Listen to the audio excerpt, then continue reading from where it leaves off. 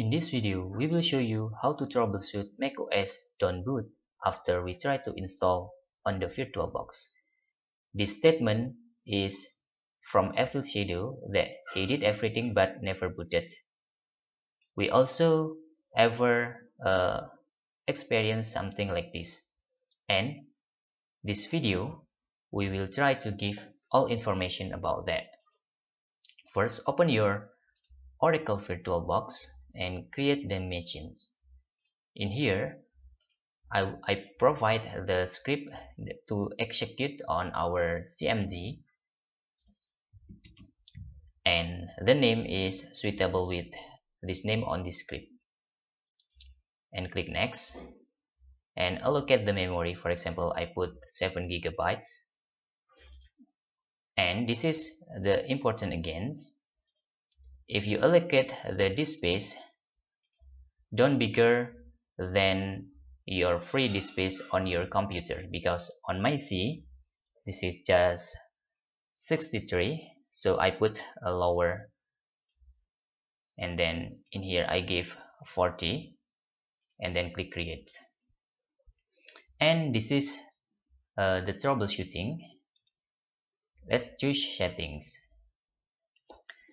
In some things you need to select the chipset into PIIX3 rather than using the default. And this is for troubleshooting number one. And let's allocate the processor. And then the storage we will try using macOS Catalina in here. And display okay this is not impact for uh, macOS don't boot in this case. Okay. Okay we just uh, try to uh, change our chipset from the default to PW uh, IX3 and then click OK. And click start.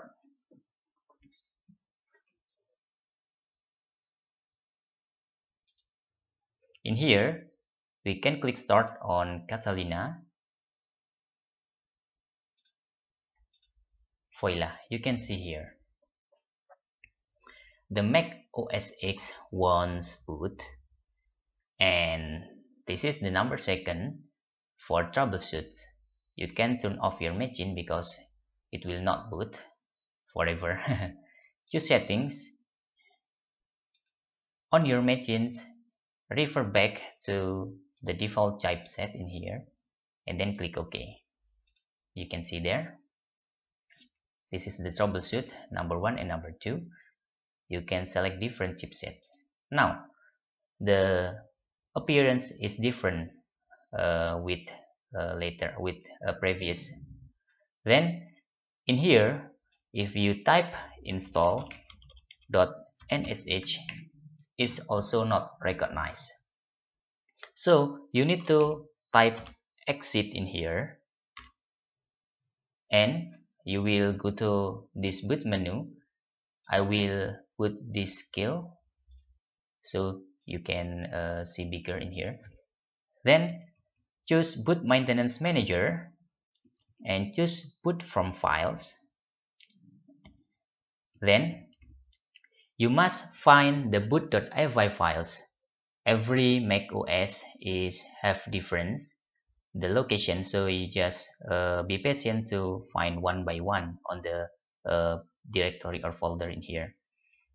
And uh, usually boot.efi uh, exists on uh, Mac OS data or on the system. In this case boot.efi exists on my systems library core services and this is the boot.efi and hit enter in there after you hit enter there is nothing happen. This is the troubleshoot uh, number three. You can turn off your virtual machines and uh, I think this is uh, will make or will be our last troubleshoot. Choose the acceleration on the systems and you can select none or you can select Hyper-V if none is work. Okay this is I choose none first. If this if this uh, showing uh, any message let's see. Let's start again. And click switch okay type exit again in here. Exit. So uh, you need to execute uh, boot.efi files.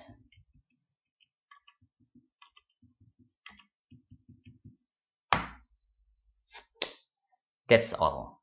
This is uh, the information maybe uh, you very very need for it. Our uh, platform is not supported on the Mac OS on Catalina version. So uh, how can you solve this problem? You need to uh, using Mac OS X in the lower version. In my platform is supported on Sierra versions. So you need to find the Mac OS X that uh, is supported on your platform. But uh, this is not appear if uh, we don't try to troubleshoot. Okay that's the information.